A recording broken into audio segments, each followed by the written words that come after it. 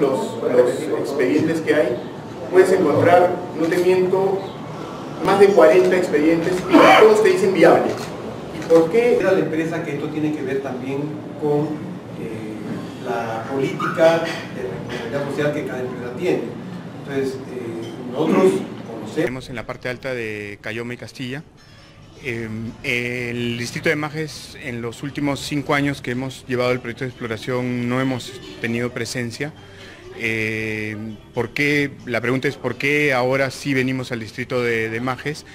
Eh, básicamente porque en la tercera modificatoria eh, de este estudio de impacto ambiental de exploración, que es el semidetallado, una de nuestras concesiones cae en el distrito de Majes. O sea, sobrepasa los límites del distrito de Majes. sobrepasa, lo, ingresa al distrito de Majes. Sí.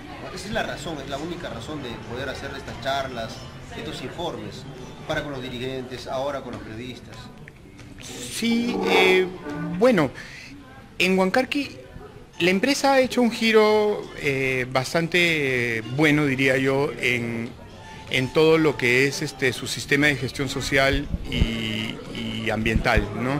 Eh, este año se han aprobado la política de inversión social, se ha aprobado la política medioambiental, este, se tiene una nueva visión de lo que quiere la empresa hacia de aquí para adelante y dentro de eso se aprueba, se aprueba todo un nuevo plan de, comunicaciones y un nuevo plan de, información.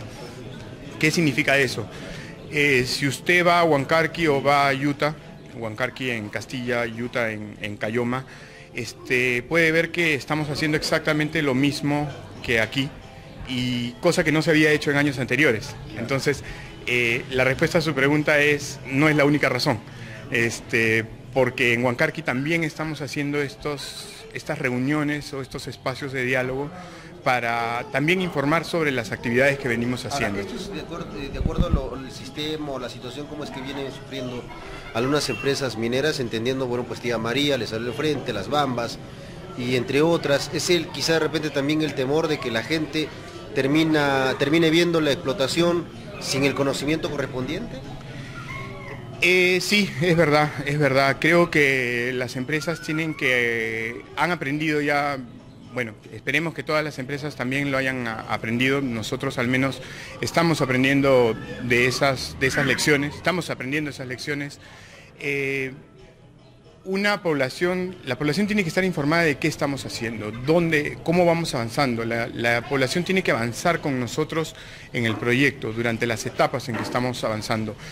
Eh, Mages tiene que saber que estamos en una etapa de exploración, de que tenemos, de que hemos hecho setenta y tantos mil o más de 90 mil metros de, perforación minera en, la zona de Castilla y Cayoma y que queremos hacer muchos más metros de, perforación y que queremos pasar la prefactibilidad a la factibilidad y que tenemos seis alternativas de agua hacia el futuro para una explotación y, y que nuestra explotación puede ser en el año 2021 y que nuestro EI ya lo podemos presentar en el 2019. Esa es la información que queremos traer a más. Sin embargo, en el informe que ustedes tienen, como que de alguna manera no hay eh, el mineral que ustedes de alguna manera pensaban, por eso es que hacen esta ampliación. ¿En realidad no hay ese mineral o es que de alguna manera arriesgan para poder invertir en este proyecto? Todo proyecto de exploración minera es un riesgo. Eh, tenemos nosotros ya un, un yacimiento estimado, Quisiéramos que ese yacimiento fuera mayor, obviamente por el precio del, cobre actualmente, Nuestro, nuestra búsqueda es por cobre. Este, quisiéramos que fuera mayor, todas las empresas siempre, toda empresa en cualquier rubro siempre quiere que su, que su, que su, su negocio sea mayor. Este, queremos sí que, la, que nuestro yacimiento sea más grande, por eso apostamos por el sur de nuestro yacimiento y en el sur está el distrito de Majes. Por eso ampliamos nuestro, nuestro, nuestra exploración y nos vamos hacia el sur y este, avanzamos en nuestro proyecto al mismo tiempo en la prefactibilidad y avanzamos en otros estudios para poder también asegurar el, éxito de este proyecto. ¿en qué, ¿en qué etapa se encuentra? En prefactibilidad. ¿Están en la exploración? Estamos haciendo, estamos haciendo labores de exploración y al mismo tiempo avanzamos los estudios de geotecnia e hidrogeología. Normalmente el problema es con la sociedad y sobre todo con los agricultores que se tiene el temor de que finalmente la agricultura va a desaparecer, mejor la minería va a desaparecer la agricultura. No sé si usted escuchaba esa frase, mina no, agro sí. Eh, ¿Qué se está haciendo al respecto, entendiendo de que no solamente la población, sino que también la más sensible es la agricultura y que lamentablemente, quieran o no los señores empresarios mineros, la población vive más de la agricultura que de la minería?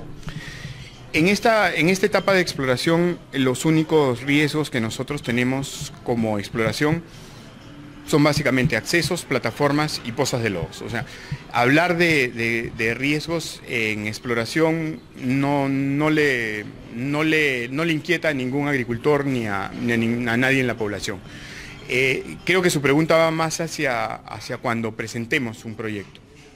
Y como le decía antes a un colega, a un colega suyo, la idea de este acompañamiento de la población desde etapas tempranas de, un, proyecto minero es eso, de que esos miedos y esas percepciones de temor se vayan, este, respondiendo desde esta etapa. Entonces, si yo le pido a un poblador o a un agricultor o a un presidente de una junta de usuarios o a, un usuario de riego, a, a alguien que trabaja en agricultura, que me acompañe desde la exploración, es eso, de que él sepa qué estudios estoy haciendo yo para garantizarle de que no voy a afectar su, actividad. Entonces, si yo en este momento le estoy diciendo, tengo seis alternativas de agua, que, de, de estudios de agua que estoy evaluando para mi mina hacia el futuro, y yo voy a ir dándole los resultados de con cuál me voy a quedar hacia el futuro, es eso, de que, que él mismo cuando vaya avanzando, me diga, oye, tú me dijiste que tenía seis. Han pasado dos, tres años y ya, ya debes haber, ya te debes haber quedado con una o con dos, ¿no? Dame, dame los resultados, pues. Entonces, saber, ¿no? Si me va a afectar. Claro, pero es eso. ¿Qué tal si yo me quedo callado hasta cuando ya tenga mi EIA y vengo a sorprender? Eso es lo que nosotros no queremos, sorprender. Claro, en este caso el diálogo no está haciendo con los agricultores. Se pretende hacer el diálogo también con los agricultores. Eso es, pero eso es lo que, eh, a eso vamos. Ya hemos empezado los, los, el diálogo con líderes, con alcaldes de centros poblados, este, con juntas de usuarios. este, esta... se reunió con la junta de usuarios también. vamos. vamos a reunirnos con la junta de usuarios. Entonces, por eso digo, esta es la segunda, la tercera reunión que hemos tenido. O sea, nos hemos reunido con jóvenes, que también es para ellos esta información. Los jóvenes al final, en el año 2021 esos jóvenes van a tener cuántos? Si tienen ahora 20 años van a tener 25 años. También es para ellos esta mina. Este, nos hemos reunido con líderes de asociaciones de vivienda, con regidor, algunos regidores. O sea, hay gente, líderes que, con los que ya nos hemos reunido. Entonces, eh, Hoy con los hombres y mujeres de prensa. Hoy con los hombres y mujeres de prensa. Ustedes van a hacer el efecto réplica. Quizás mañana nos van a tocar la puerta y decir, yo también quiero esta información. La información está ahí para quien la quiera. Eso es lo más importante y eso quiero que ustedes lo difundan. La información está ahí para quien la quiera. Y está en su etapa más temprana cuando todavía podemos sentarnos a conversar. Aquí no se va a construir la mina ni mañana, ni el próximo año, ni de aquí a dos años. La mina si se construye, se construye de aquí a cinco o a cuatro años. Entonces, juntos podemos ir viendo los temas.